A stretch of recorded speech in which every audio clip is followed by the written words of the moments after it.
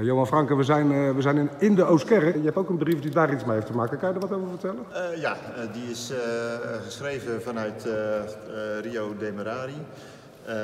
dat is tegenwoordig Brits-Guyana. En door Nicolaas Pietersen en die schrijft aan zijn vriend Jacobus Pasen. En die woont, woont aan het Oosterse Wagenplein. En tegenwoordig is dat het Oostkerkplein. Uh, vroeger stonden daar natuurlijk gewoon wagens geparkeerd. Dus het, het, was een ruimte waar je aan de rand van de stad, uh, net zoals nu, je wagen parkeerde. nou, die, uh, die Nicolaas Pietersen die, heeft eigenlijk niet zo heel veel te melden. Maar wat wel grappig is aan zijn brief, is dat het een typisch voorbeeld is van fonetisch uitgeschreven Zeeuws. Er komen een paar typische woordjes in, in voor. Hij adresseert die brief bijvoorbeeld aan monsieur. En hij schrijft dat een beetje uit zoals je het dan op zijn Zeeuws zegt, monsieur.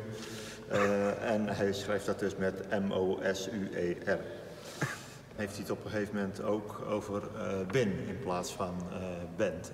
Oké, okay. wie ben je? Wie ben je? Verder heb ik niet te schrijven met EI. Korte ei dus. Ja, ja, ja, ja, dat is plicht echt alle kanten een beetje. Maar waar, waar, gaat de, waar gaat de brief eigenlijk over? Wat is het een... Um, nou, eigenlijk gewoon een mededeling dat het, uh, dat het die Pietersen uh, goed gaat. En ja, hij zegt dat hij verwacht binnen drie weken zelf met zijn schip terug te komen. dat zou tegenvallen, want de Vierde Engelse Oorlog brak uit in februari 1781. Nou, eigenlijk al in december 80, maar die kwam in Demerari aan in februari 1781. De Engelsen namen alles in bezit. Uh, dus waarschijnlijk is hij als krijgsgevangene op een gegeven moment teruggegaan naar, naar de Republiek. met een uitwisseling van, van krijgsgevangenen. Maar hij heeft daar dus wel wat langer gezeten dan die drie weken die hij van plan was om vervolgens terug te keren. En hij schrijft dan dat als hij terugkomt, dat hij eigenlijk verwacht dat zijn vriend Jacobus Paas hem op zou zoeken als hij op het, het vlaker ligt. Dit is de bewuste brief aan aan Monsieur Jacob Pasen woont aan de Oostkerken op het Wagensplein te Middelburg, Middelburg in Zeeland met vriend die God geleidt. En daar zo'n brief altijd mee af in de ja. envelop. Ja.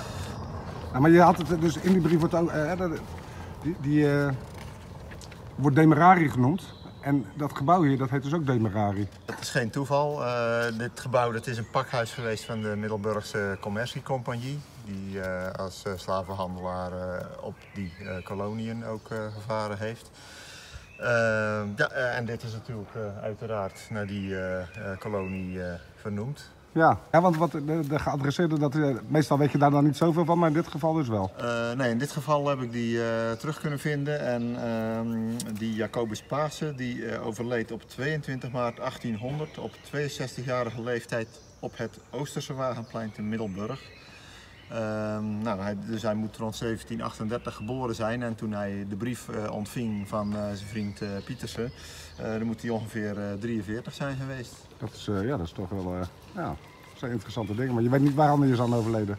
Uh, nee, dat stond er uh, helaas niet bij. Want het is alleen een, uh, een bericht van de dooptrouw- en begraafregisters. En ja, daarin staat gewoon vermeld dat iemand op een bepaalde datum op een bepaalde plaats is begraven. En bij welke kerkelijke gezinte zo iemand dan hoorde. Maar ja, we weten in ieder geval zeker dat hij in een van de huisjes hier op dit Plein, pleintje ja. heeft gewoond. Ja, dat is toch heel bijzonder hè?